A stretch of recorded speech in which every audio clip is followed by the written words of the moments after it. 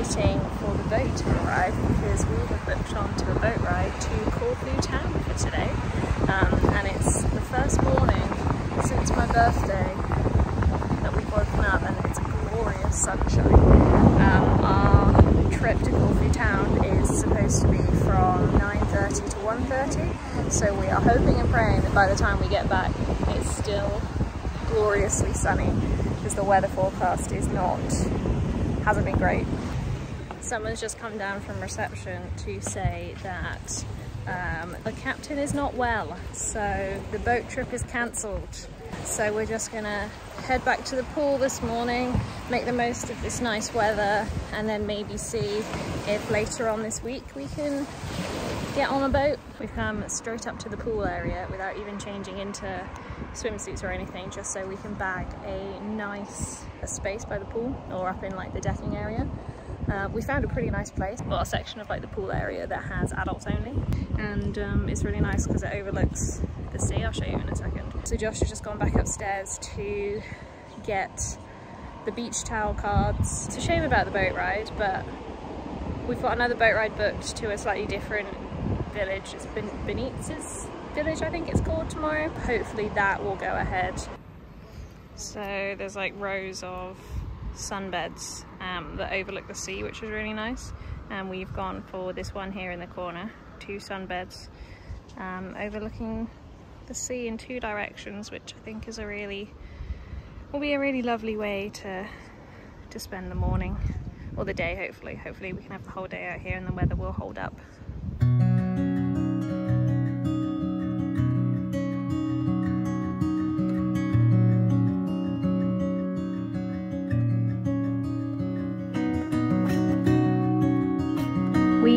On our way out for dinner. Showered, scrubbed up, but I thought I would show you my new earrings. There's a jewelry shop on site. I saw these really lovely pearl earrings in the window and I've been looking for a pair of pearl earrings for quite a while and I have some finally, if you can see. But they are real pearls. They are on 14 karat gold backings and um, they are 8 millimeters wide and I thought they were very nice so I bought them. A little birthday present to me but I got burnt today kind of up here. My stomach is really burnt as well but hopefully overnight it will turn into a nice tan.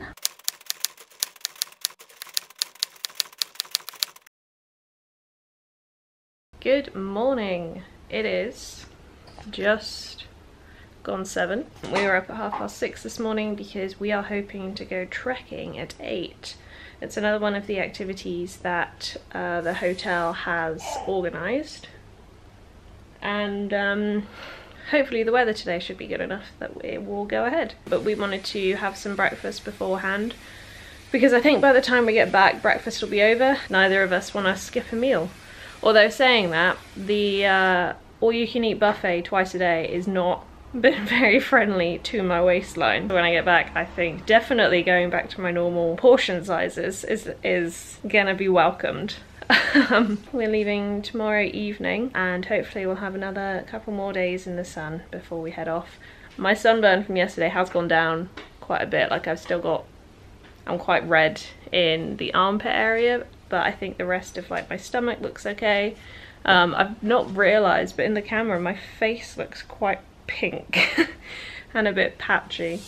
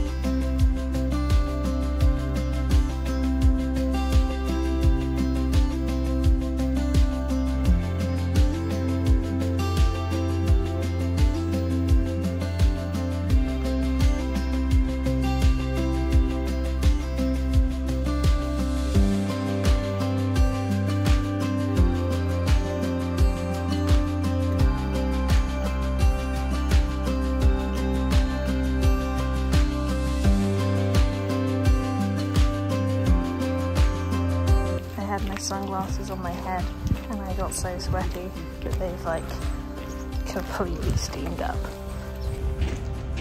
Yep, I cannot see through those. We have just got back from our morning trek.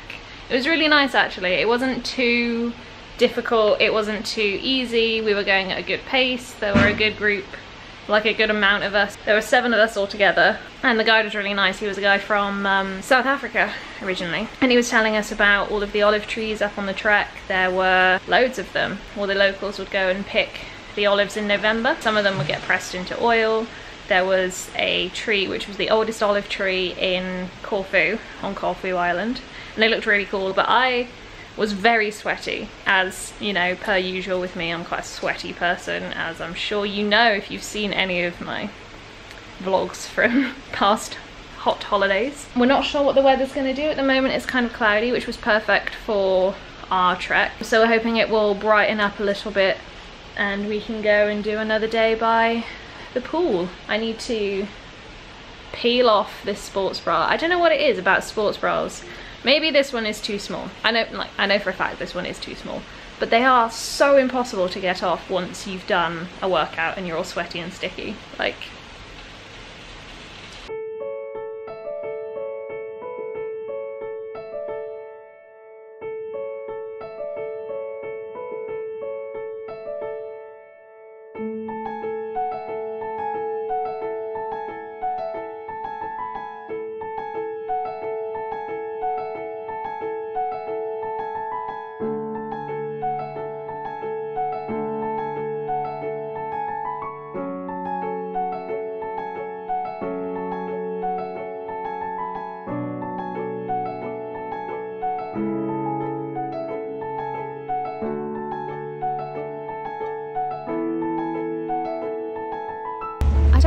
whether it was the heat from today or being out on the paddleboard, but I, for some reason, started feeling quite ill. Not like significantly ill, it wasn't that bad. It was just my head started hurting and I felt a little bit queasy. And I was like, hmm, this could be seasickness, this could be uh, heat stroke, because there was one point this afternoon where it was absolutely baking. There was like no breeze or air or really anything to help cool cool us down. It was just the sun beating down. So we came down to the sea, went on some paddle boards and then yeah, started feeling a bit funny. So Josh was like, oh, let's go for a swim in the sea. That will help because he loves the sea. He thinks it's very healing. So we got in the sea and I realized that I don't actually really like the sea that much. I think, I think I much prefer being in a swimming pool. I think just when you get into the sea, I don't want anything to touch me. Uh, I don't like that it's salty and it gets in your mouth. And I basically got in and then absolutely went. I'm filming myself, sorry. yeah, uh, that was really awkward. yeah, I basically got into the sea and completely clattered it as fast as I could down to the next pier. And Josh was like, Jesus, slow down, isn't this lovely? And I was like, mm, I don't know. I, I didn't really stop to think about it because also when you're in the sea, like you don't know what's underneath you and I didn't want to put my foot down on like a sea urchin or something or like have anything touch me so uh, maybe I prefer the sea a bit more if I had like a rubber ring or something like they put children in. Because it was nice, it was very cooling. I just didn't like really enjoy the experience that much. And like you can't control it. I think that's what stresses me out as well. You can't control your actions in the sea. Like you are kind of at the mercy of the waves as well. Whereas in a pool you can just stop and stand up if like, I don't know, you go in the wrong direction or something. So yeah, I just I'm not really like super scared of the sea, but I don't love the sea like some people do, like Josh does, for example. Just got back to the hotel room and I'm about to hop in the shower, but I just wanted to show tell you how much I love this swimsuit from Charme Marie. It's a multi-way swimsuit. It's a it's basically got two really long straps that's, that start from the bottom and go all the way up and I've kind of crisscrossed them behind me and then like crisscrossed them in front and then tied them behind again. But I just think it's like the, one of the most flattering swimsuits. Like I've got the biggest buffet bloat at the moment, but I think because it cinches it just around the, the waist under the chest area, it looks, it kind of like pulls everything in really nicely. So uh, yeah, this is the back. Oh, I've kind of like crossed it all around and tied it up. Um, I'm not sure it's one for tan lines. I think I haven't taken it off yet, but I might have some pretty horrific tan lines. Also, I would say that this is definitely one for like more like a boat party or a pool party or something like that, not necessarily going swimming because when you get in the water, it does go see-through. I was walking around like holding my nipples because they were fully on show. It's also white, which I think complements the tan very well. Uh, makes me look even more tanned. Okay, I've just taken it off and can confirm I do have tan lines. We've got one more day tomorrow, so I'm hoping that we can even that out. Also, I got bitten by something right here. Josh has also been bitten really badly. Um, he's got a couple of really bad bites on his legs. But I honestly don't think putting bites in the sun helps at all. I remember one time I was on holiday and I had a bite like on my butt cheek and because um, I was on holiday it was in the sun the whole time. It's turned into like almost a mole but not as dark as the rest of the moles that I've got. It was kind of like a, I don't know, a greyish brownish blotch which hasn't gone away. And I honestly did this when I was maybe 16. So it, uh, yeah, I really don't want another big blotchy mark on my shoulder up here. Because I mean, on my butt, no one's really going to see that. But like this, that's quite visible. And I'm really hoping it doesn't scar. And I know Josh is hoping that his doesn't scar either because they are beastly on his leg.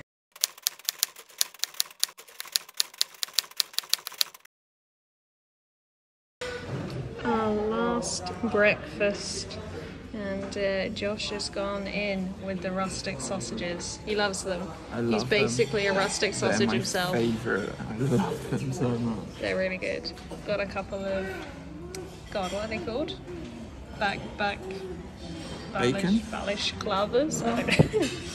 Got some tea. Oh, orange juice. Yeah, those are really good. These uh, these things up here. But yeah, we've got our last last breakfast. Again, overlooking the sea. Oh, the sun looks lovely this morning.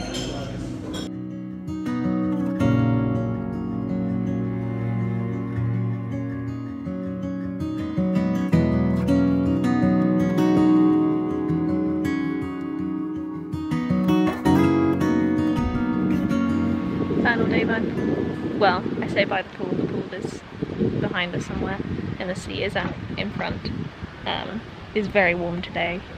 It is kind of overcast and a bit cloudy, but the air temperature is very, very hot. So I've put the umbrella up. Um, my legs are still in the sun because they are pasty and can probably tan a bit more, but yesterday I think I just got far too hot to function. Um, I went to bed with a bit of a headache actually I had to take some paracetamol in the end and I was drinking lots of water because I think I was very dehydrated and bad things happen to me when I get dehydrated so I drank lots I need to drink lots again today but I'm putting the umbrella up during the the hottest period of the day is like 12 half 12 now maybe just so I can try and avoid getting getting too bad. It's our last day. We are going to the airport at 6.45 for being picked up um, so we're to have a bit of an early dinner slash lunch. Um, probably to order a pizza just right here, in all honesty, and eat it overlooking the sea. All in all, it's not been too bad a holiday.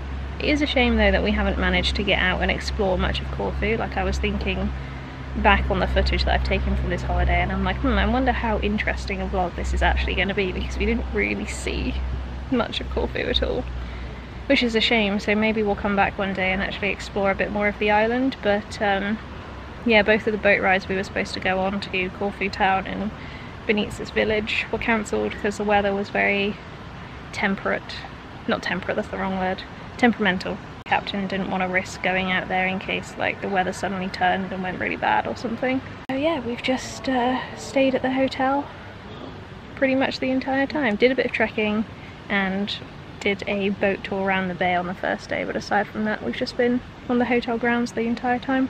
A nice way to end, end the holiday, I think, just lying out in the sun again.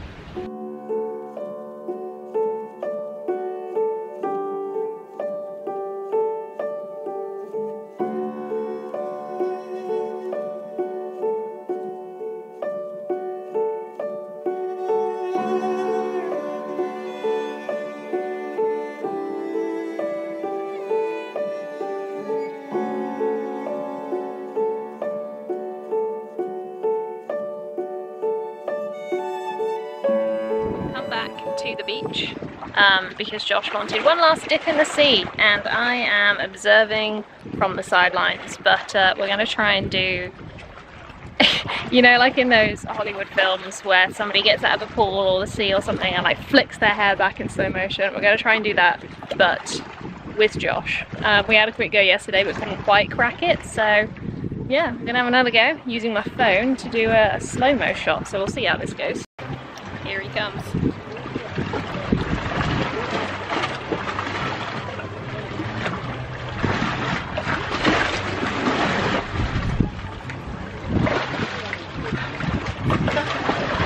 That might have been it. Okay, try again. Okay, cool. Try and do it again and see if you can do it without grabbing the bars. Okay, I'll do it again.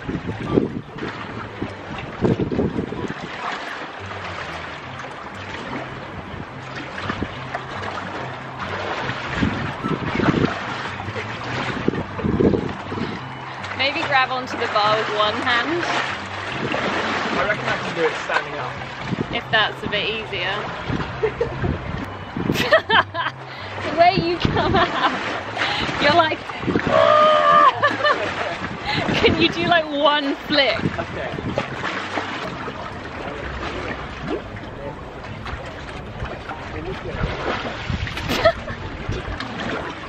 Your hair didn't move.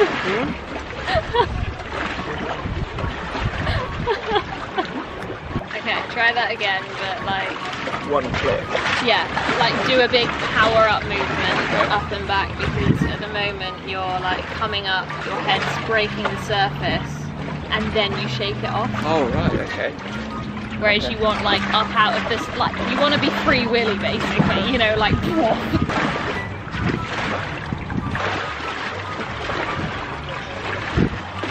How's that? That was better. Okay.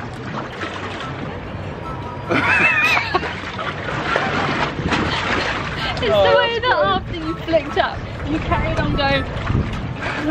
Oh,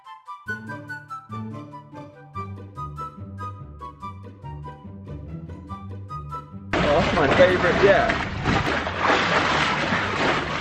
That was good. Okay. I think that's it. Okay. I think we got it. Okay. We got the shot. We got the shot.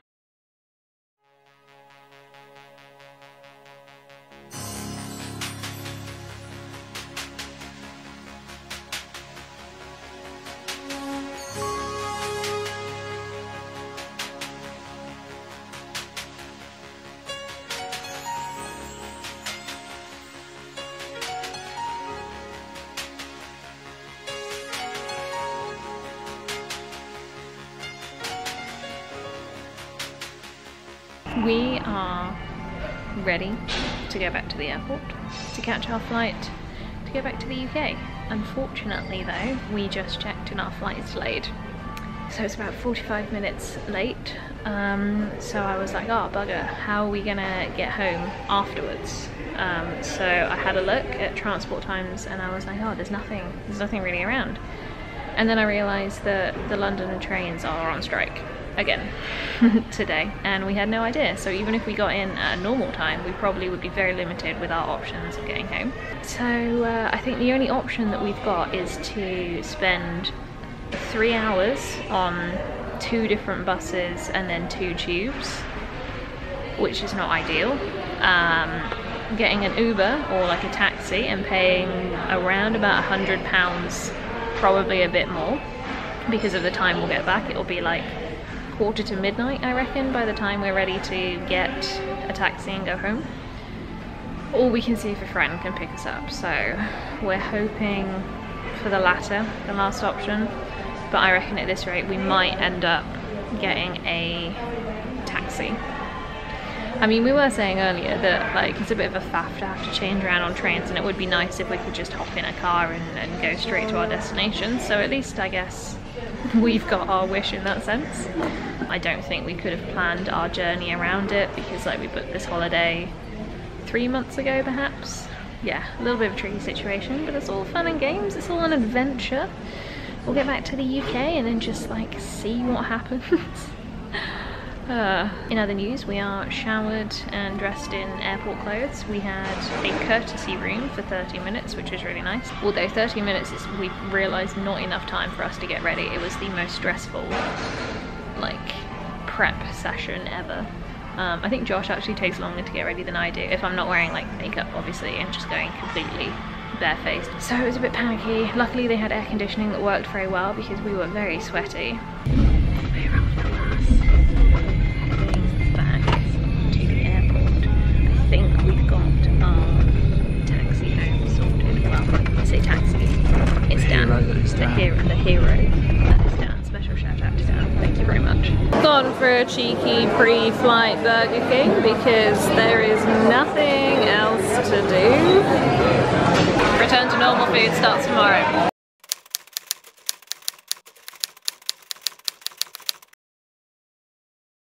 Good evening, everyone. Um, it is now Sunday. It's Sunday. Yes, it's Sunday, and we technically got back. I was going to say last night, but it's actually this morning. I realised earlier today that I didn't actually finish this vlog, or kind of fill you in with what happened and did we get home? Did we? No, I mean, obviously we got home, but um, thought I would just round off the vlog by doing my skincare and kind of filling you in with what happened. So our flight was delayed, as I think I mentioned in my last update. Um, we were supposed to take off at 9.30ish and didn't actually leave the ground until just after 11. Because our flight was delayed, we were like, oh bugger, how are we gonna get home once we land back in London? So I had a look at transport on the other side because we were flying into Gatwick and initially we were going to get the Gatwick Express and then the tube all the way home. I mean, it would have been a bit of a pain when carrying loads of heavy luggage, but there were ways to get home. So anyway, I was checking to make sure that when we landed, the Gatwick Express would still be going and like the trains would still be running and stuff. And when I was looking on Citymapper, there was just like nothing coming up. The the shortest time that Citymapper was showing us with like various public transports was like 300 minutes long or something absolutely ridiculous and it was like a coach that would go all the way through Heathrow and then back into a train that we could into like central London where we could catch the tube. So I was like, what the hell is going on? And then realized that there were tube strikes and train strikes and kind of all manner of public transport strikes on the day that we were returning and we didn't have any idea that it was happening beforehand until I checked at that very moment. So we were obviously like, oh God, how are we gonna get home? Started looking at different options with like taxis and stuff and trying to find some quotes. Got a quote from Addison Lee and it was like 200 pounds to get from Gatwick to our house at potentially midnight, maybe a little bit afterwards, depending on when the plane landed. Um, Ubers, I think, were 150 up as well, so it was yeah, not ideal by any means. So we were stressing out a little bit at this point, as you can imagine. We were just about to be picked up from the hotel to go to the airport. So we text our friend Dan, who was able to come and pick us up. And he lives like, not even in London, north of London, in Hertfordshire. And he drove all the way down to Gatwick to come and pick us up, drive us home, then drive home himself. So he made like a special trip all the way out to come and get us, which was an absolute lifesaver because if he didn't, we would have been stuck. We were supposed to land just after 12 and I think by the time that they let us like off and disembark and stuff, it was nearly half past 12. So we came out of the airport and there he was waiting for us with two bottles of water and he was like, oh, I thought you might want these after the long flight and uh, we did. Flights I never realised, everyone always says that flights are really dehydrating and I was always just kind of like, eh, I mean, you're on a plane, like how dehydrating is it? And then I, I didn't actually realise, or maybe I've just never paid attention before, but they are really dehydrating. It's very dry air on an airplane, so these bottles of water were very much appreciated and like a really thoughtful thing for him to just pick up as well. So yeah, that was really nice. But yeah, he was waiting for us. He took us to the car, drove us all the way home. I fell asleep in the back of the car. I think it was like one, it took it. By the time we got home, it was about three in the morning. So between half 12 till three, just before three maybe, I don't know what time it was. I was pretty much asleep in the car the whole way back. Dan, when he was at the airport, he overheard people talking that, and they were saying that the next train is at 7 a.m. and it's a three and a half hour wait for a taxi. The whole holiday, I had, I, I got away with having two bites only. One on my little finger, which is, I think is a really weird place to get an insect bite, and then one on my shoulder somewhere under there. And that was it for the whole holiday until the very last day when I woke up or like through the course of the day. I don't know when it happened, how it happened, but I had seven new bites all over my legs. And Josh had spent the holiday being bitten to smithereens. And I was like, oh no, you must be really unlucky. They really like you. And then like the last day, seven bites all over my legs. And they are really itchy. And like the whole flight on the way home, they were very itchy. I had leggings on for the first time because before, like throughout the whole week we were away, I was wearing like basically nothing on my legs or like dresses so it didn't really it wasn't really like tight on my legs so yeah wearing gym leggings that are like they just weren't they weren't the one they weren't the one to to ease my itchiness i think i've done everything in my skincare routine it's i haven't really been paying attention to what i've been doing while i've been kind of explaining um, I realize I'm not very good at multitasking. I'm definitely not paying attention to something if I'm trying to do something else. Like if someone's talking to me and I'm reading something, I am definitely not listening to whoever's talking. All right, I think that is all my skincare. And that is it for this vlog. Thanks for watching and um, I'll see you again soon.